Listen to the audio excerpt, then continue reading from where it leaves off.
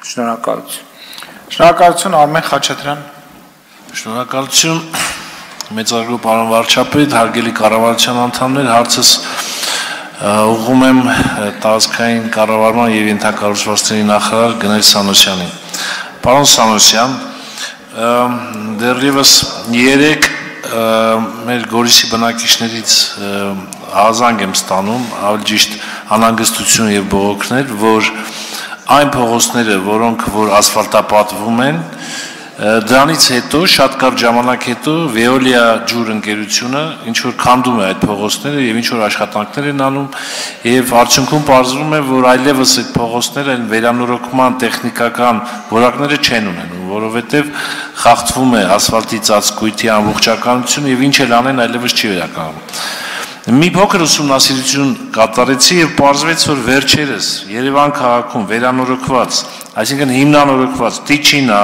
Քեսապցիներ, Թևոսյան, Մուրացան, Մոլդովական փողոցները ասֆալտապատվել են ամբողջությամբ, որից հետո անմիջապես Veolia ջուր ընկերությունը քանդել է եւ քանդման աշխատանքներ է արել եւ կներեք այս բարի համար, բայց այդպես է այլանդակել ամբողջ ասֆալտը եւ ծածկույթը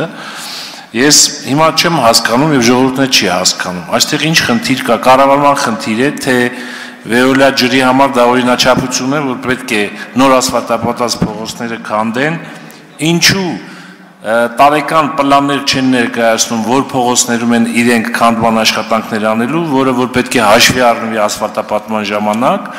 եւ ինչու է այսպիսի օրինաչափության նման մի բան առաջացել։ Հարցին կպատասխանի տարածքային կառավարման եւ ենթակառուցվածքների գնել Սանոսյանը համեցեք պարոն Սանոսյան։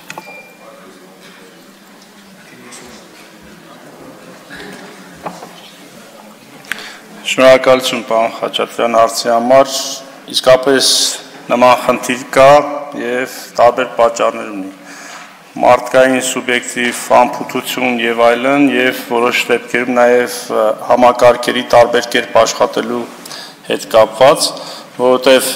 այո երբեմն լինում է դեպքեր, երբ որ տարբեր կառույցներ իրենց աշխատանքները տարբեր կերպ պլանավորելով հաճախ խառը համընկումներ են տեղ ունենում, որի արդյունքն էլ երբեմն դա է լինում։ Իհարկե դա արդարացում չէ եւ ցավալին նա է, որ երբ որ կազմում է ճանապարհաշինարարական նախագիծ, այդ նախագիծը ուղարկվում է բոլոր մարմիններին Այսինքն երբ որ որևէ տեղ ճանապարհ պետք է կառուցվի, նախագիծը ուղարկվում է Գազպրոմ կարծիքի, Վիոլիա կարծիքի, մնացած բոլոր այն կառույցներին, որտեղ ովքեր այդտեղ որևէ ենթակառուցվածք ունեն,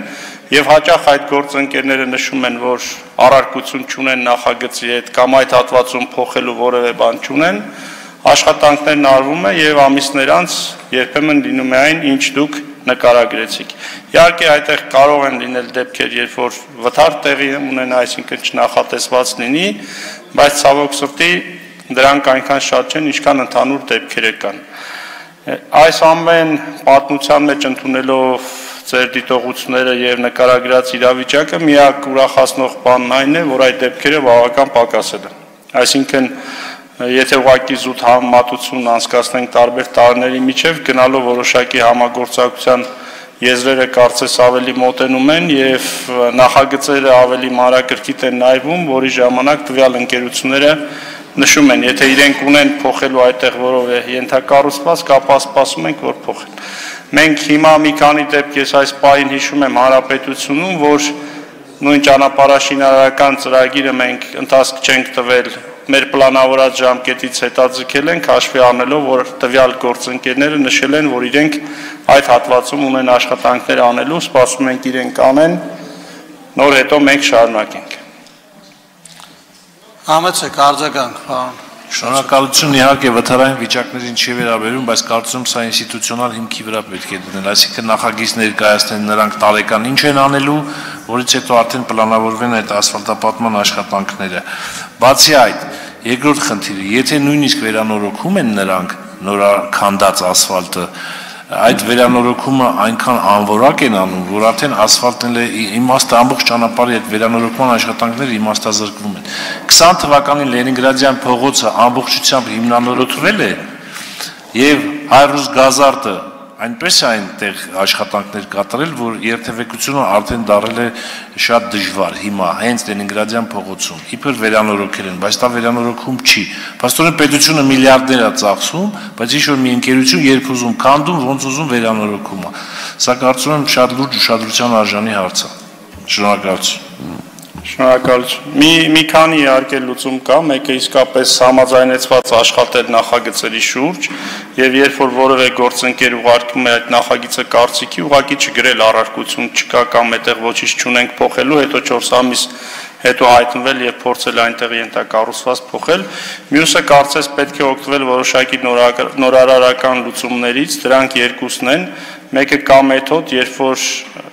հնարավորություն կա առանց ճանապարհի ասֆալտապատ հատվածը քանդելու, որոշակի գործիքով քանդել ճանապարհի նետակի հատվածը, անցնել մյուս կողմ եւ ենթակառուցվածքները փոխանցել։ Կարծես այդ մեթոդը նոր է սկսում մեր մոտ տարածվել, շատ երկրներում տարածված է, ուղղակի որոշ դեպքերում մեր գրունտի խտության հետ կապված հարցեր կան, բայց ինքը շատ տեղերում աշխատող մեթոդ է։ Եվ իհարկե ճանապարհները կառուցելիս զուգահեռ կառուցել համապատասխան խողովակներ, որոնք իրենց մեջ կկրեն այդ ենթակառուցվածքները, այդ թվում նաև մալուխային տարբեր ենթակառուցվածքներ, որpիսի հետագայում երբ փոխելու կարիք լինի, մենք ճանապարհին որևէ կերպ չվնասենք։ Շնորհակալ։ Պարոն Սանոսյան, առաջարկում եմ չհեռանաք ամբյանից։ Ես արտահերթ հարցը ուզում ուղեմ ձեզ հենց այս հարցին ի շարունակություն։ Պարոն Սանոսյան, տեսեք, ես երեք մի տեսանյութ եմ հրապարակել իմ Facebook-յան էջում, որովհետեւ իսկապես այս հանրային ընկալումը նաև փոխանցեմ, թե ինչ է իրականում կատարվում։ Խնդիրը միայն նոր ասֆալտապատ ճանապարհների քանդումը չի։ Խնդիրը նաև ճաշինարարական աշխատանքների ընդհանուր առմամբ ստանդարտների չհետևելն է, որոշ դեպքերում բացակայությունն է։ Տեսեք, հենց հիմա, եթե մենք միասին երթևեկենք Սարյան փողոցով, կտեսնենք, որ առաջի գիծը ամբողջությամբ շին հրապարակ է վերածած։ Այսինքն շին հրապարակ է, այդ առաջի գիծը չի կարելի օգտագործել, բայց գիտեք, ինչի համար է դա շին հրապարակ օգտագործում։ Որովհետեւ մայթը վերանորոգվի։ Պատկերացնում եք մայթը վերանորոգելու համար ասֆալտի վրա, առաջի գծի վրա բերել են, ասենք, կրուզավիկներով դատարկել են ավազ։ Եվ ես ամեն օր երթևեկում եմ այդ ճանապարհով։ Երկրորդ հարցը, երբ որ նույն այդ Գազպրոմը, Վեոլիա ջուրը, հեծը որոշ դեպքերում աշխատանքները կատարում են, հետո ամիսներով թողում են այդ փոշին կեղտը, գնում են մարդկանց տները, շնչուղիները եւ ուզում եմ նաեւ իմանաք, որ այնպես չի, որ ասես միայն հրաապարակային ենք խոսում, եւ մեր քաղաքացիները նույնպես իմանան, որ անընդհատ այս հարցերը մենք հնչեցնում ենք տարբեր խողովակներով տեղ ենք փորձում հասցնել բայց ես ուզում եմ որ իմանաք մանավանդ հիմա մենք կառավարությունը մեծ աջակցություն է ցուցաբերել Երևանի քաղաքապետարանին տարբեր տեղերում աղրերի ծավալներով աշխատանքներ են արվում եւ դա իհարկե գնահատելի է եւ մեր քաղաքացիները պիտի զգան եւ կզգան անպայման դրա դրական ազդեցությունը բոլոր ուղություններով ճանապարհաշինությունն էլ, մայթերի շինարարությունն էլ, դպրոցներ էլ, մանկապարտեզներ էլ։ Բայց խնդրում եմ, քանի որ քաղաքականությունը վարվում է այնուամենայնիվ տարածքային կառավարման նախարարությունը, մենք այս վերահսկողության ստանդարտները, դրանց նկատմամբ վերահսկողությունները բացի քաղաքապետարանից, տիմ, տիմերից, հա, նաև նախարարության կողմից կիրառվեն եւ վերահսկվեն եւ նաեւ հարցը քաղաքշին կոմիտեին է վերաբերվում։ Շնորհակալություն պարոն Արշակյան, երեկվա ձեր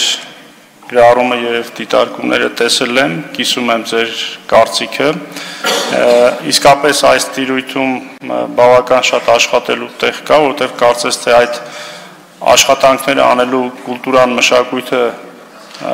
նորմալ կազմակերպված չէ մեր մոտ կամ բավարար չէ կազմակերպված եւ